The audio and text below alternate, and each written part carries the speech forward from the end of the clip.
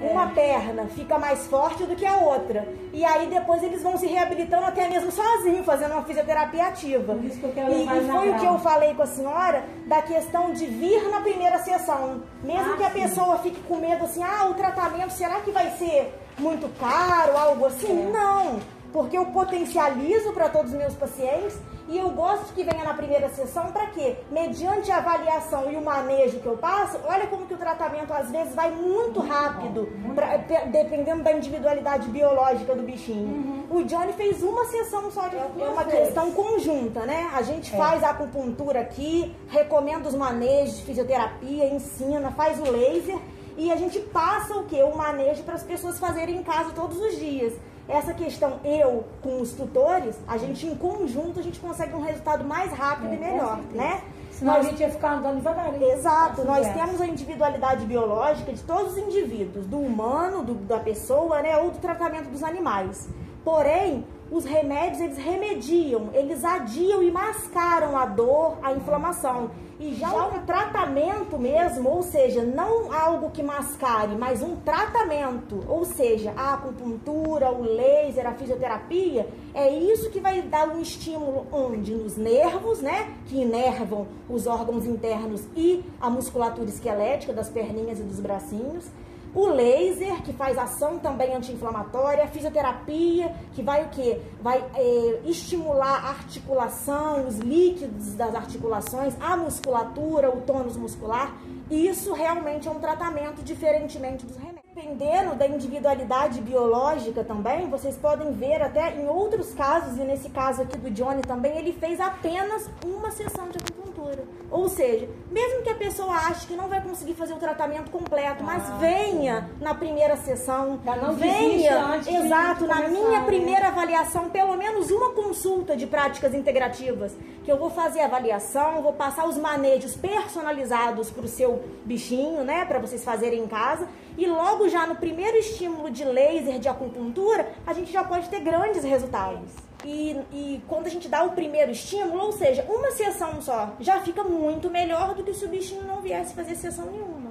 E continuasse com os remédios apenas, que fere estômago, fere fígado, fere rim, né? Porque o estômago ele absorve, o fígado metaboliza os medicamentos que são drogas e o rim excreta. E acaba só postergando, ou seja, piorando a situação, jogando para frente, mas não tratando realmente e é, muitas das vezes com efeitos colaterais, né?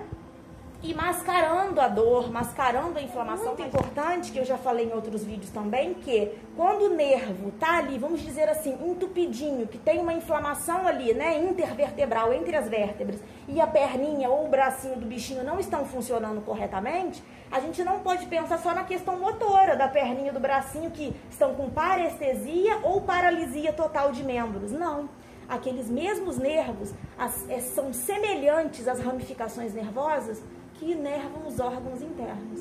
E eu já tive alguns casos do bichinho ir definhando e definhando, a inervação, a inervação tá diminuída nos órgãos internos e o bichinho poder ter uma falência múltipla de órgãos e definhando cada vez mais. Ou seja, muitas das vezes a gente pensa apenas no que a gente está vendo, na parte de fora, que é o que? O bracinho, a perninha que parou de funcionar né? Que tá com uma paralisia, uma parestesia, uma fraqueza de membros. Mas a gente esquece que aquele mesmo nervo que desce do cérebro, passa pela coluna e é ramificado, a ramificação dele também inerva os órgãos vitais, os órgãos internos. Então a gente tem que estimular que é com acupuntura para quê? Para não então essa questão de não ter a falência né, múltipla de órgãos. Então a gente não pode pensar apenas no que a gente vê, mas a gente tem que lembrar que os nervos também inervam os órgãos vitais. Eles é que conferem a vida. Por isso, em muitos dos meus atendimentos, vocês veem eu falar, quando o bichinho tem um probleminha na cervical, que a inervação principal é o que inerva o quê? O coração, os órgãos daqui de cima, né? Pulmão, diafragma. Às vezes ele pode ter, igual o Joey que vocês viram, uma insuficiência respiratória ou cardíaca. E já quando o bichinho tem um acometimento nas vértebras mais baixas, torácica, lombar, ele tem o quê? Incontinência ou urinária e fecal, né? Incontinência ou retenção. Ou seja, isso é a prova é, empírica, né, pela nossa experiência, claro, além da gente estudar e saber, mas é uma prova que a gente dá para vocês de que quando o bichinho tem um acometimento em alguma vértebra da coluna, a inervação está deficiente também, não só no que a gente vê aqui fora, nos membros, bracinhos e perninhas, mas vocês podem ver que também cursa com que diminuição da inervação nos órgãos internos, né? Acima aí torácica, cervical, essa questão de insuficiência cardíaca ou respiratória e abaixo incontinência ou retenção. Coelho, especializada há 11 anos em acupuntura, laser terapia e práticas integrativas e complementares comprovadas cientificamente em pessoas e animais. Venha conhecer o meu trabalho. No canal do YouTube tem muito mais dicas para ajudar a sua saúde e do seu bichinho de estimação. Dê um like, compartilhe, se inscreva no canal.